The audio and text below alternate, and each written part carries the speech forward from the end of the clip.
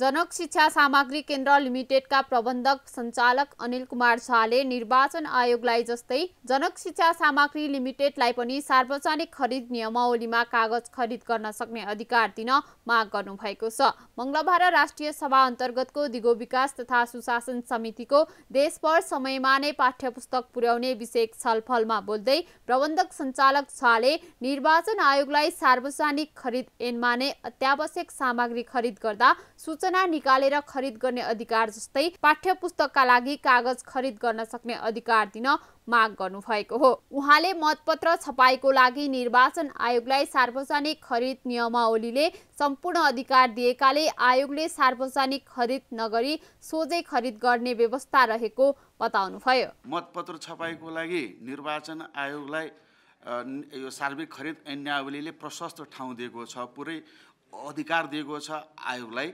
उसले सार्वजनिक खरिद अनुसार चाहिँ खरिद नगरिकन सोझै खरिद गर्न पनि सक्छ। दुई तिन दिनको सानो सूचना गरेर पनि यो खरिद गर्न सक्छ भने पूर्ण रूपमा त्यहाँको आयोगलाई पूर्ण रूपमा त्यो जिम्मेवार जिम्मेवार दिएको छ। त्यसको प्रबन्ध हाम्रो सार्वजनिक खरिद ऐनमै व्यवस्था छ कि निर्वाचन आयोगले सोझै खरिद गर्न सक्छ कुनै पनि सामग्रीहरू जति करोड जति अर्बको भए पनि त्यसमा कुनै किसिमको समस्या छैन। त्यसैले मतपत्र छपाईमा छिटो छरितो भएको छ। साथसाथै हाम्रो जनक शिक्षामा पनि मतपत्र छपाईको कहाँ हामीले पायौँ भने छोटो सूचना अर्थात् सात दिने सूचना गरेर त्यसको लागि चाहिने र मेटेरियलहरू खरिद गरेर त्यसको छपाई सामग्रीहरू पैकिङ सामग्रीहरू खरिद गरेर छिटो छिटो गरौँ भन्ने किसिमको सञ्चालक समितिमा पनि त्यसको व्यवस्था छ। तर पाठ पुस्तकलाई त्यसमा समेटिएको छैन। मतपत्र जस्तै हामीले पाठ पुस्तकको पनि चाहना राख्छौँ। तर मतपत्र जस्तै पाठ पुस्तकको लागि पनि हाम्रो सञ्चालक समितिमा निर्वाचन आयोगलाई सार्वजनिक खरिदले ऐनले दिए जस्तै हाम्रो जनशिक्षाको सञ्चालक समितिलाई त्यो राइट दिइयो भने पक्कै पनि हामीले समयमै यो पाठ पुस्तक छपाईसँग सम्बन्धित सामग्रीहरू खरिद गरेर समयमा उत्पादन गर्न सक्छौँ भन्ने मलाई लाग्छ। त्यसैले मतपत्र जस्तै एसेन्सियल हाम्रो पाठ पुस्तक हो हो हो भने यही समितिलाई म आग्रह गर्न चाहेँ मान्य सभापतिजीलाई विशेष अनुरोध गर्न चाहेँ मैले कि सकेसम्म यही वर्ष चाहिँ यस किसिमको ऐन नियम कानुन परिमार्जन होस् र जनशिक्षाको फेभरमा सञ्चालक समितिलाई पूर्ण राइट दिइयोस् ताकि सञ्चालक समितिले सोझै खरिद गर्ने पाओस् या सानो सूचना दिएर खरिद गर्न पायो भने पक्कै पनि हामीले समयमै यो छपाई सामग्री खरिद गर्न सक्छौँ भन्ने मैले एउटा आग्रह गर्न चाहन्छु। यस किसिमले कागज आपूर्ति सहज भयो भने हामीले समयमै पाठ पुस्तक उत्पादन गरेर बिक्री वितरण गर्न सक्छौँ भन्ने मलाई लागिरहेको छ र म हामी गर्छौँ पनि। गत वर्ष पनि कमिटमेन्ट गरेको हो तर यो कागजको कारणले भएन। यो यो वर्ष हामीले कागज आपूर्ति अलिकति तिन हजार टन मेट्रिक टन एउटा टेन्डर गरेको त्यसबाट आइरहेको छ। पाँच हजार मेट्रिक टनवालामा अलिकति ढिलाइ भयो। त्यसमा म्याद थप गरेर जरिवाना लगाएर पनि आपूर्ति गर्ने टाइम हामीले दिएका छौँ। किनभने तत्कालै हामीले टेन्डर रद्द गरेर गयौँ भने कोर्टबाट एसटी अर्डर आउँछ फेरि त्यो पेन्डिङ हुनसक्छ भन्ने डरले हामीले एकपल्ट फेरि मौका दिएको। हो यस पछाडि पनि ल्याउन सकेन भने त्यसको धरोटी जफ्त गर्नुपर्ने हुन्छ। त्यसले गर्दाखेरि ब्याकअप प्लानमा अर्को तिन मेट्रिक टनको कागजको सूचना हामीले पठाएका छौँ। र साथसाथै जिटिजीबाट सहजीकरण भयो भने यो निरन्तरता हुन्छ यो कागजको समस्या हुन्न र हामीले विभिन्न विकल्पको विकल्पको रूपमा पनि कागज खरिद गर्ने प्रक्रियाहरू बढाएका छौँ। त्यसले गर्दाखेरि यस वर्ष कागज आपूर्तिमा त्यति समस्या नहोला भन्ने मान्य सभापतिजीले मैले आग्रह गर्न चाह चाहन्छु। अहिले अब गत वर्षको तुलनामा मान्य सभापतिले भने जस्तै गत वर्षको तुलनामा यस वर्ष हामीले पाठ पुस्तक छपाईको क्षमता पनि बढाएका छौँ। गत वर्षको हिसाब गर्दाखेरि विगतमा हाम्रो यो ब्ल्याक एन्ड व्हाइटमै पाठ पुस्तक छपाई हुन्थ्यो। अहिले कक्षा दससम्म रङ्गिन पुस्तक भइसकेको तर हाम्रो जनशिक्षासम्म पहिला चाहिँ दुईवटा रङ्गिन छपाई मेसिन मात्र थियो वेब मेसिन। अहिले यो वर्ष भर्खरै हामीले तिनवटा नयाँ रङ्गिन छपाई मेसिन थप गरिसकेका छौँ एउटा सञ्चालनमा आइसकेका छ र दुईवटा अहिले हाम्रो यो परीक्षणको क्रममा छ। एक दुई दिनभित्र त्यो सञ्चालन हुन्छ। त्यसले गर्दाखेरि अब पहिलाको गत वर्षको दुईवटा भन्दा थप तिनवटा गरेर जम्मा पाँचवटा हाम्रो छपाई मेसिन अहिले चालु पोजिसनमा छ। त्यसले गर्दाखेरि अहिले हाम्रो उत्पादन क्षमता दुई लाख प्रतिदिन छ। पहिला हाम्रो सरदर अस्सी हजार प्रतिदिन थियो भने अहिले हाम्रो यो क्षमता बढेर सरदर दुई लाख प्रतिदिन भएको छ। छलफलमा बोल्दै शिक्षा विज्ञान तथा प्रविधि मन्त्रालयका सहसचिव दीपक शर्माले आठ कक्षासम्म मात्रै रङ्गिन पाठ्यपुस्तक बनाउन आवश्यक रहेको बताउनुभयो। उहाँले रङ्गिन पाठ्यपुस्तक विद्यार्थीहरूलाई दिने विषय राजनीतिक विषय भएको पनि उल्लेख गर्नुभयो। प्रोक्युरमेन्ट एक्टले चाहिँ हाम्रो त्यो प्रतिस्पर्धाबाट टेन्डर गरेर जा भन्छ त्यसलाई चाहिँ वेब गर्नुपर्छ पर्यो भन्ने चाहिँ जनशिक्षाको भनाइ हो। त्यस त्यो अब त्यो चाहिँ कागज खरिदमै हो उहाँले चिटुजीको कुरा उठाउनु भएको होइन।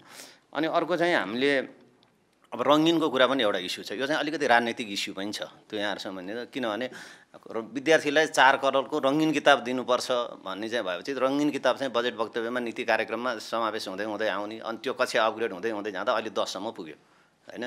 अब हामीलाई कहिलेकाहीँ कस्तो लाग्छ भने त्यो आठ कक्षासम्म रङ्गिन भए हुन्छ। नौ र दस चाहिँ अब हरेक किताब त एक वर्ष प्रयोग गरेर सकिने हो। त्यो चाहिँ दुई कलरको भए हुन्छ चारै कलरको रङ्गिन किताब चाहिँ नभए नि हुन्छ कि नौ दसमा। त्यसले पनि अलिकति चाहिँ हाम्रो समस्यालाई चाहिँ अलिकति विकल्पहरू खुला गर्छ कि अब त्यसो गर्दाखेरिमा चाहिँ के हुन्छ भने रङ्गिनमा हुँदा नब्बे प्रतिशत ब्राइटनेस भन्छ। अब त्यो रङ्गिन हरायो भने बयासी प्रतिशतको ब्राइटनेसको कागज हुन्छ।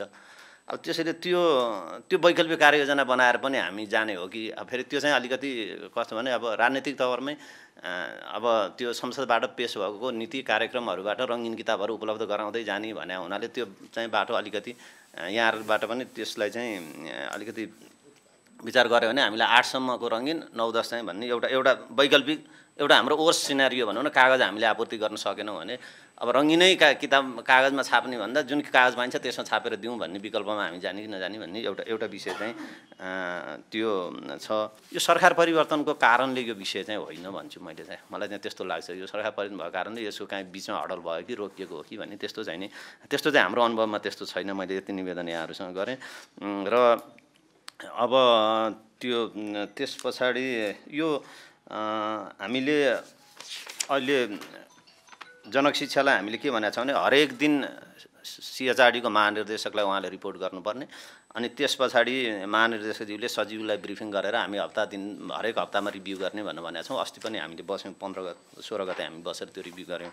त्यस्तै नेपाल अभिभावक महासङ्घका अध्यक्ष शुभप्रभात भण्डारीले नेपालको संविधानले नै विद्यार्थीहरूलाई निशुल्क अनिवार्य पाठ्यपुस्तकको व्यवस्था गरेको बताउनुभयो। उहाँले सरकारले दुई हजार एकासी सालसम्म बालबच्चालाई विद्यालय नपठाउने अभिभावकलाई कारवाही गर्ने परिकल्पना गरे पनि सरकार आफैले बालबालिकालाई समयमै पाठ्य पुस्तक दिन नसकेको बताउनुभयो। हामीले विद्यार्थीहरूलाई सरकारको प्रति प्रतिबद्धता संविधान प्रदत्त हक र अधिकारका बारेमा कुरा गर्दैछौँ। संविधानले नि शुल्क अनिवार्य शिक्षाको कन्सेप्ट लिएर आएको छ। अब यतिसम्म छ कि दुई हजार एकासी सालसम्म आफ्ना बालबच्चा विद्यार्थी केटाकेटीलाई स्कुल नपठाउने अभिभावकलाई हामी कारवाही नसिहत गर्ने कुराहरू कल्पना गरिरहेका छौँ। तर हामी आफै पाठ्य पुस्तक दिँदैनौँ फेरि। विद्यार्थीहरू रमाएर जाने हिसाबको कुरामा दिँदैनौँ त्यसो भन्दाखेरि पाठ्य पुस्तक नपुगेकै पनि होइन। विगतदेखिको हिसाब हेर्ने हो भने शिक्षा तत्कालीन शिक्षा विभाग मानव स्रोत विकास केन्द्रले एउटा अध्ययन गर्छ जसलाई फ्ल्यास रिपोर्टको नाममा आउँछ। प्रत्येक शैक्षिक सत्र सुरु हुनुभन्दा दुई महिना सुरु भएको दुई दुई हप्तासम्मको अवस्था हेर्ने हो भने झन्डै झन्डै नब्बे प्रतिशत विद्यार्थीहरूले किताब त पाउँछन् तर आंशिक रूपमा पाउने अवस्था छ। भन्नाले टोटल रूपमा कुल विद्यार्थीले एकैपटक एकदेखि दसका विद्यार्थीहरूले पूर्ण सेटमा पाठ्य पुस्तक आ पाएका अवस्था चाहिँ छैनन् भनेर रिपोर्ट भन्छ। भनेपछि हामीले कहिले पनि आज दस वर्षको इतिहास हेर्ने हो भने सबै विद्यार्थीहरूले कुल स्कुल जाने विद्यार्थी सामुदायिक विद्यालयका विद्यार्थीहरूले एकैपटक वैशाख एक गतेभन्दा अगाडि वा हिजो अस्ति असारमा थियो शैक्षिक सत्र भने त्यो कुल विद्यार्थीहरूले एकैपटक रमाएर हात हातमा पाठ्य पुस्तक सेटमा पाएको अवस्था छैन भनेर सरकारी अध्ययनले नै भन्छ। भनेपछि हाम्रो अवस्था चाहिँ त्यो छ। तर त्यसो भनिरहँदा फेरि शत प्रतिशत विद्यार्थीले नपाएका पनि होइनन्। भन्ने कुरा पनि देखिन्छ खैक्षिक सत्रको अन्तसम्म मान्य सभापतिकै भनाइलाई सापट लिइरहँदाखेरि पनि अन्तिममा कुनै एउटा विषयको पाठ्य पुस्तक नपाएर पनि कतिपय जिल्लाका विद्यार्थी दूर दराजका विद्यार्थीहरूले परीक्षामा बस्नु परेको अवस्था छ। अध्यक्ष भण्डारीले नेपालको दस वर्षको इतिहासमा वैशाख एक गते भन्दा अगाडि सम्पूर्ण विद्यार्थीहरूले पाठ्य पुस्तक पाएको अवस्था नरहेको बताउनुभयो।